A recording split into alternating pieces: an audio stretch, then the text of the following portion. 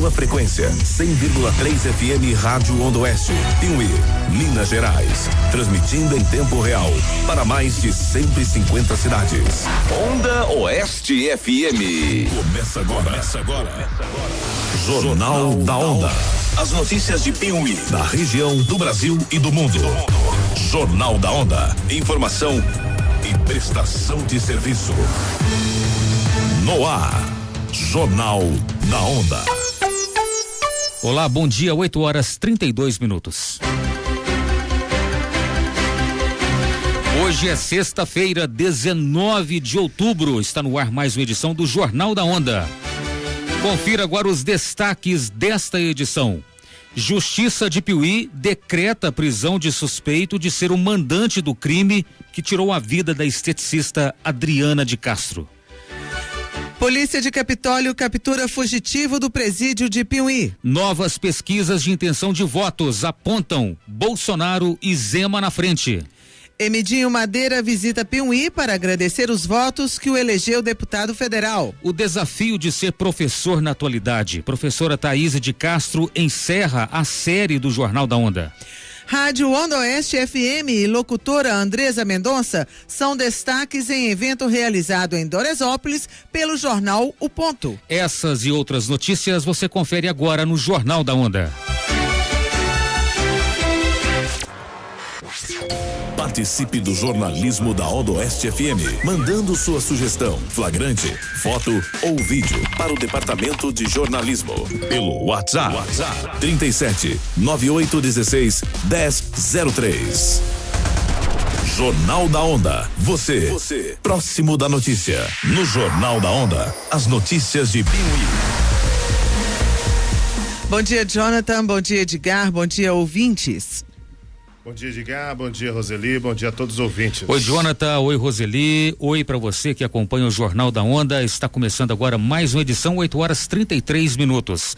Após dois meses de investigações, foi preso ontem o suspeito de ter sido o mandante do crime que tirou a vida da esteticista Adriana de Castro no dia 7 de agosto. De acordo com o delegado Fernando Berdugo, o trabalho de investigação da Polícia Civil conseguiu chegar ao ex-marido da vítima após ter sido identificado um elo entre ele e o suposto autor do crime que está preso. Você, próximo da notícia. Jornal da Onda. Depois de dois meses de investigação, a Polícia Civil apresentou o suspeito de ser o mandante do crime que tirou a vida da esteticista Adriana de Castro. A decretação da prisão do suspeito foi feita na manhã desta quinta-feira, 18, pela Justiça. De acordo com o delegado Fernando Berdugo, as investigações chegaram ao ex-marido da vítima. É o que explica o delegado. É, Para início ali, né, relembrando as investigações. É, na primeira semana após a morte da, da Adriana, a, o Leandro foi preso, né, como o autor, o executor imediato da, da morte dela. E o, os investigadores, é, escrivães, é, eu como delegado, o outro delegado, o Dr. Fábio, nós começamos as investigações e conseguimos é, identificar um elo entre esse Leandro e o ex-marido dela, pai das crianças, na, nessa morte. Então foram trazidos aos autos essas, esse elo, né, essas provas objetivas, foi juntado nos autos e, e na data de hoje saiu o mandado de prisão para ele foi cumprido. Uma das provas que foi concretizada nos autos são ligações telefônicas, troca de mensagens é, entre Leandro e o ex-marido dela que questionado ele a respeito de Leandro, ele não consegue é, falar sobre ele, sabe? Não consegue é, dizer por que que trocou, o que que era essas mensagens. Isso daí são uma das provas. Então, é, outras provas existem nos autos que leva a, a, que existe o indício de autoria que ele está por trás da, do, deste crime. Existem algumas diligências ainda a serem cumpridas é, o telefone dele está sendo periciado. É, algumas provas podem ser adquiridas por meio desse telefone dele. E vamos aguardar essa perícia para, se tiver mais provas, algumas outras provas que ainda podem surgir, será encaminhado aos autos para o curso do processo, alimentar ainda mais a investigação no, no curso do processo. Tem prazo essa prisão? Essa prisão é do curso do processo, né? É, tem um prazo lá, limite lá, conforme os atos do processo, mas é diferente da prisão do, do, do outro do outro autor, do Leandro, que foi na prisão temporária, que foi de 30 dias, solicitado 30 dias e representado por mais 30 dias. É dele agora já são prisão preventiva, vai ser no curso do processo e, e assim é, até o final do, do, julgamento, provavelmente. O Jornal da Onda tentou falar com o advogado José Donizete Gonçalves, que defende o suspeito. Segundo Donizete, ele estava se inteirando do ocorrido e que falaria com a reportagem posteriormente. Você está ouvindo Jornal da Onda. Aqui a notícia chega primeiro.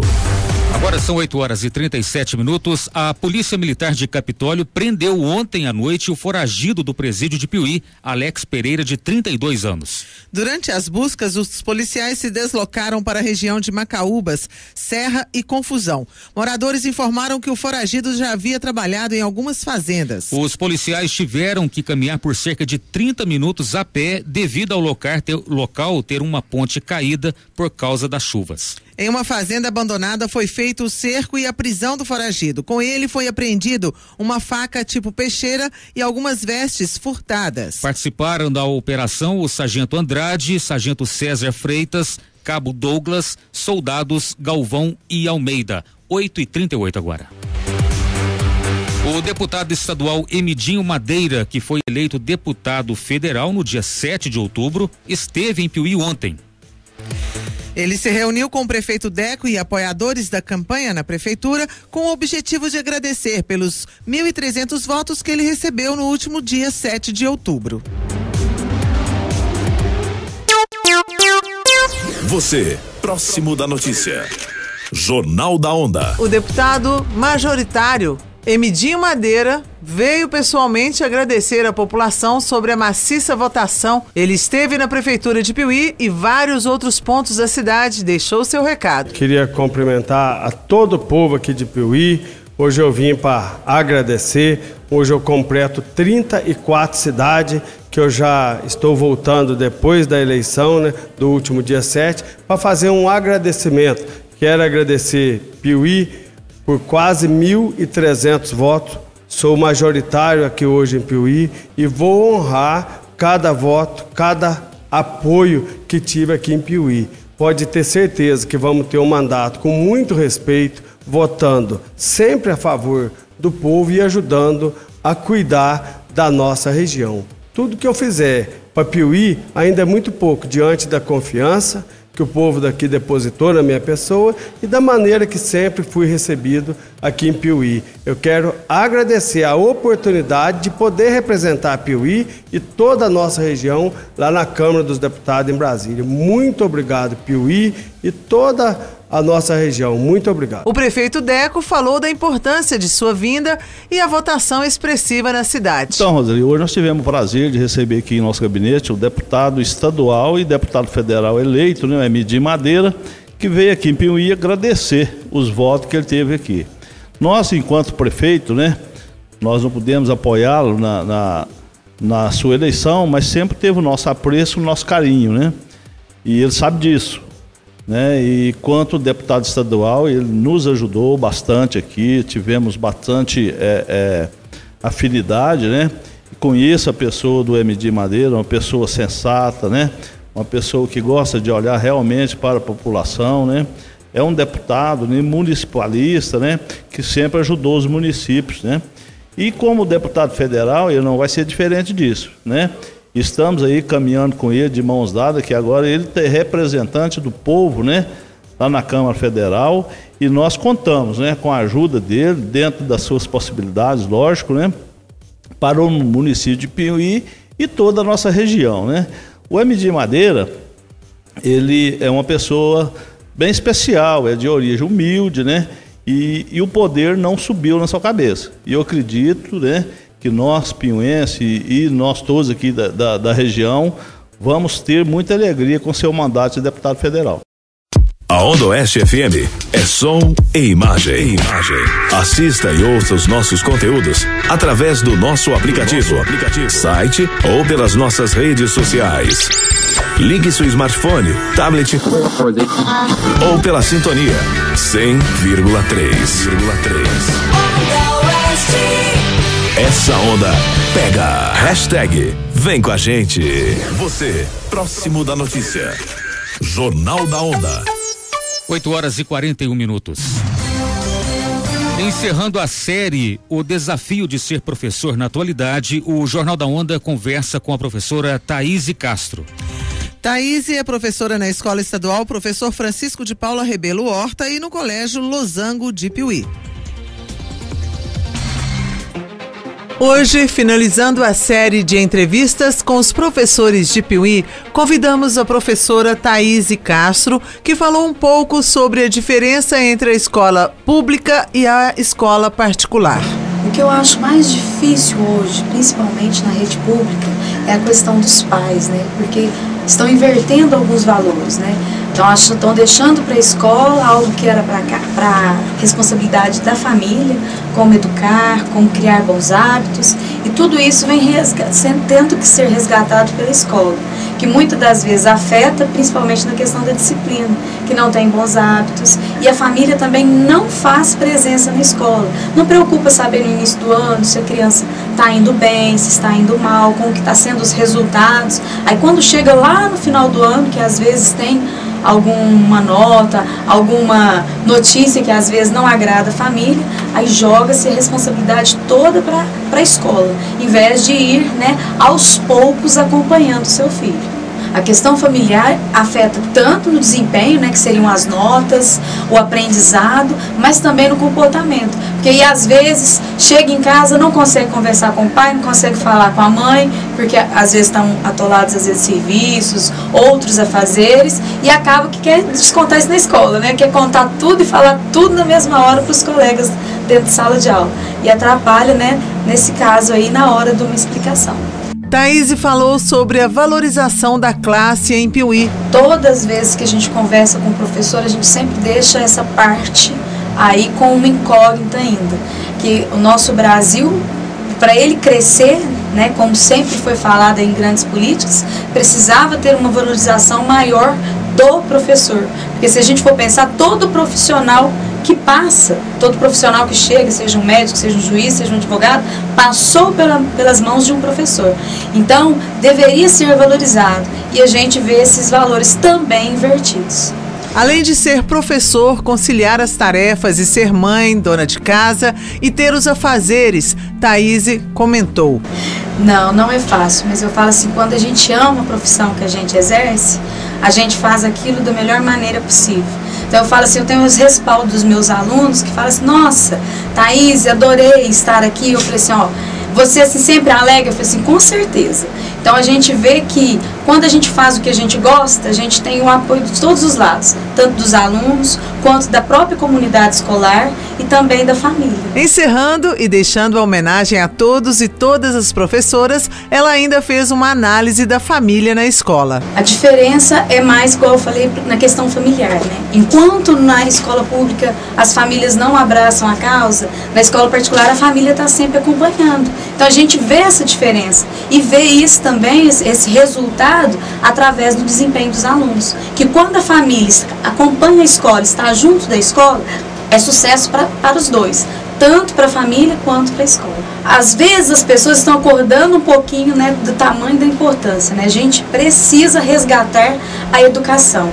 E eu sempre acompanho assim, minha área matemática, acompanho a OBMEP, que é as Olimpíadas. E aí tem um vídeo na internet da, da Olimpíada que fala de uma estudante que participou das Olimpíadas e foi ganhando, ganhando outras Olimpíadas. Hoje ela até mora fora do Brasil.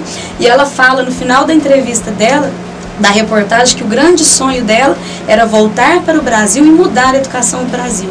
Porque a gente vê que é com educação que a gente alcança grandes voos. 8 horas e 45 minutos. Quero cumprimentar aqui a Roseli Amorim e o Jonathan Tavares. Fizeram aí esta série de entrevista com os professores, cumprimentar os professores que estiveram aqui a disponibilidade de falar com a gente no Jornal da Onda e esta série de entrevista nada mais foi do que uma homenagem da Rádio Onda Oeste FM a todos os profissionais da educação, né, extensivo a todos, escolas públicas, estaduais, municipais e particulares.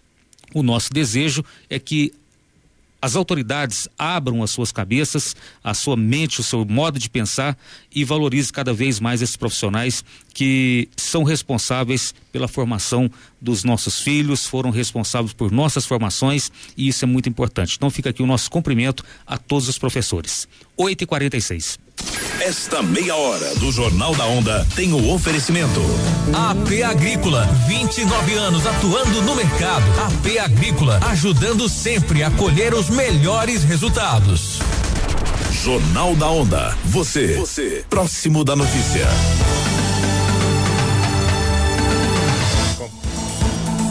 Acompanhe agora a cotação do mercado agropecuário no oferecimento de AP Agrícola. A saca de café arábica, bebida dura 60 quilos, é cotada em Varginha a 430 reais. A saca de milho 60 quilos é vendida em Buritis a 35 e 34. O feijão carioquinha é cotado em Avaré, São Paulo a cem reais e 14. A arroba do boi gordo é cotado em Araxá a 144 reais. As informações são do site AgroLink.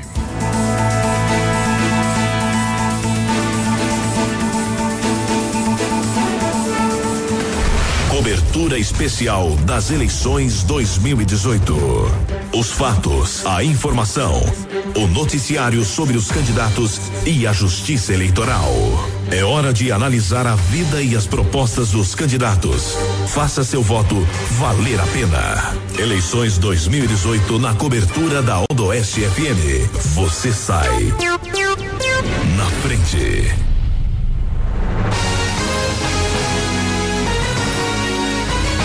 8 horas 48 minutos. A segunda pesquisa Datafolha do segundo turno da eleição presidencial mostra que o candidato Jair Bolsonaro do PSL se manteve à frente de Fernando Haddad do PT.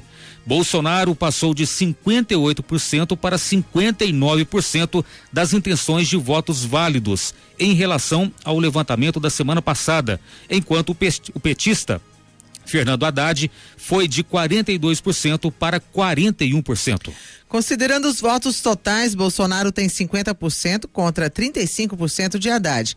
Brancos e nulos somaram 10% e indecisos 5%.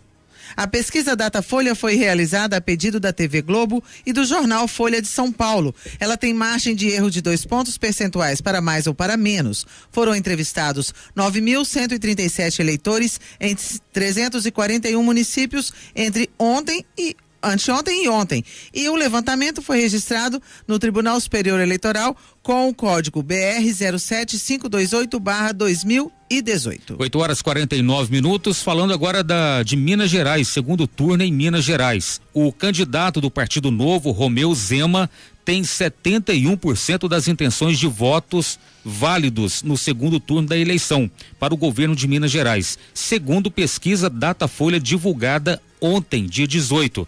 O senador Antônio Anastasia, do PSDB, aparece com 29%. Considerando-se os votos totais, Zema tem 58% das preferências contra 24% do Tucano. Brancos e nulos somaram 10%, enquanto indecisos chegaram a 9%. Este é o primeiro levantamento do Datafolha sobre o segundo turno no estado de Minas, a pedido da Folha de São Paulo e da TV Globo. A margem de erro é de 3 pontos percentuais para mais ou para menos, e o intervalo de confiança é de 95%.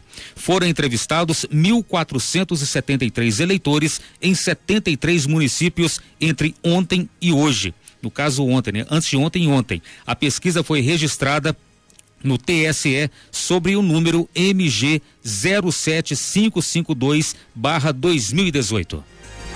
8 horas e 50 minutos. Eleições 2018. Na cobertura da Odoeste FM. Você sai na frente. Você recebe uma mensagem pelo WhatsApp ou pelo Facebook e não sabe se ela é verdadeira? Então não passe para frente. Primeiro, certifique se a veracidade e a necessidade de compartilhar a informação.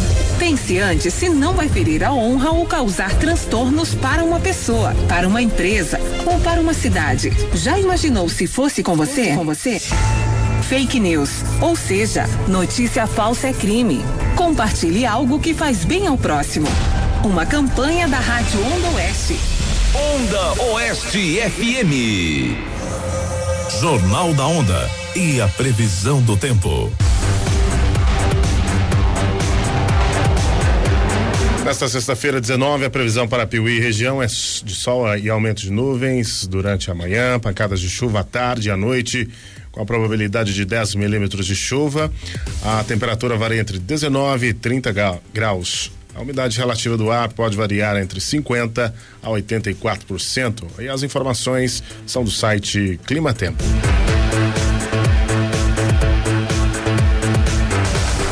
Jornal da Onda. Você, você, próximo da notícia. 8 horas 52 minutos. Muito bem, ontem foi realizada em Doresópolis, realizado em Doresópolis um evento, os melhores do ano, promovido pelo jornal Ponto, aqui da cidade de Piuí, pela Adriana Almada. E é com ela que vamos falar agora. Bom dia, Adriana. Bom dia, bom dia a todos os ouvintes da Onda Oeste. Uma satisfação recebê-la aqui.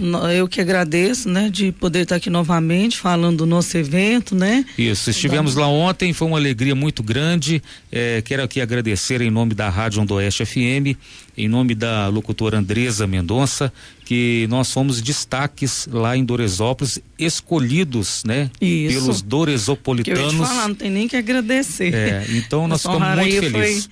Essa honraria que vocês receberam ontem foi indicação, né, da população de Doresópolis, tanto pela pela Rádio Onda Oeste, também pela locutora Andressa, né, que tem suas raízes firmadas lá na cidade.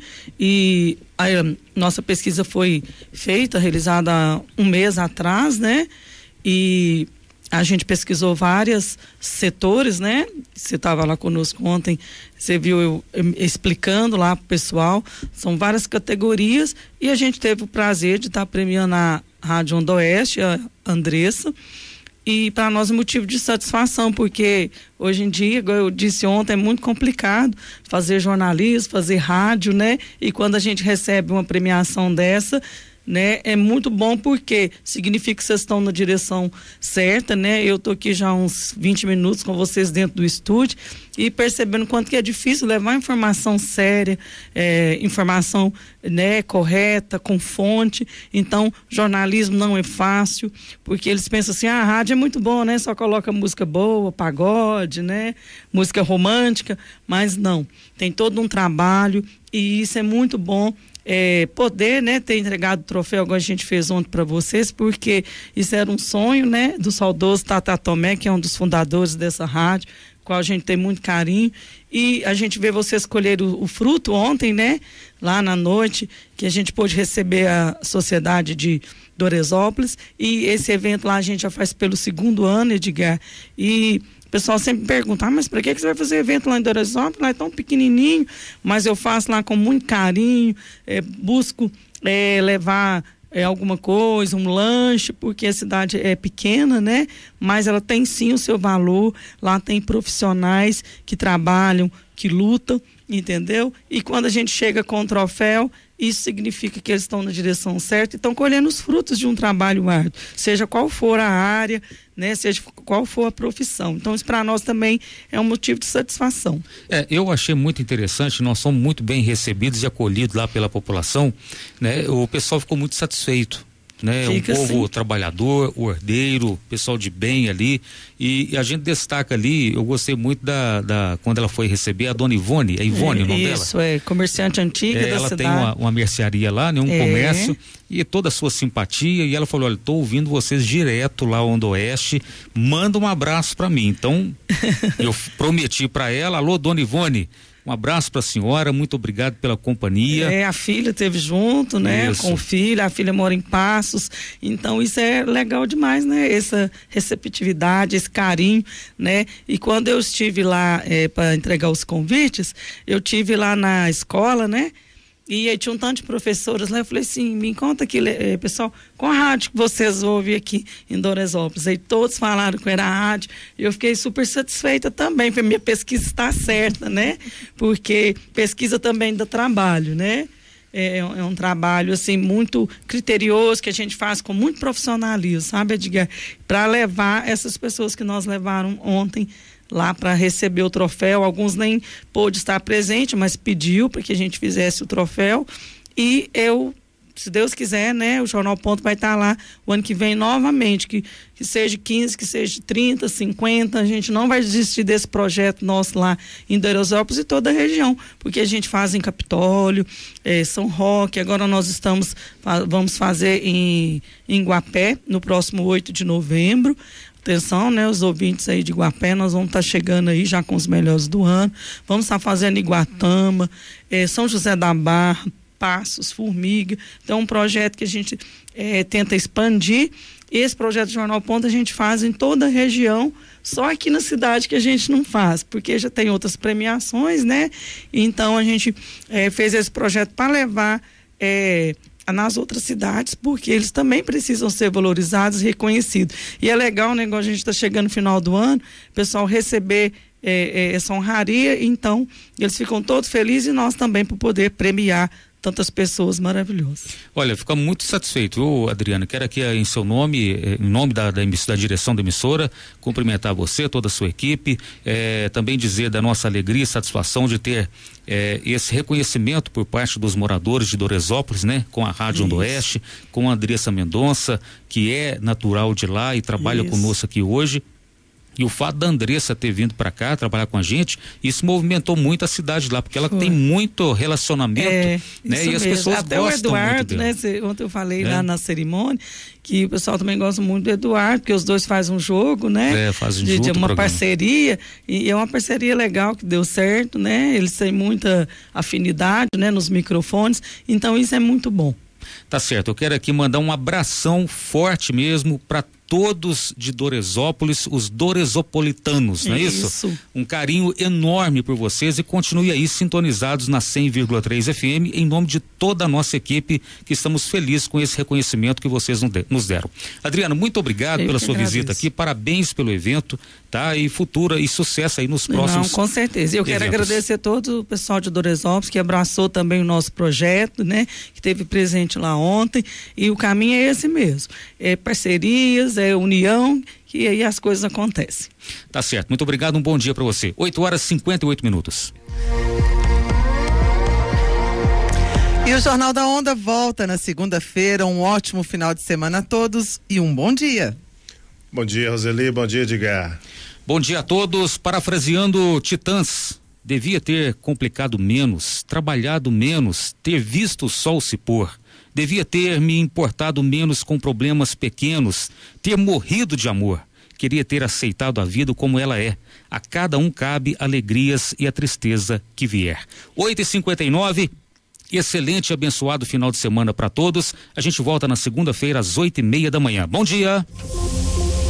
Você ouviu? Você ouviu? Jornal da Onda. Informação, informação e prestação de serviço. Jornal da Onda.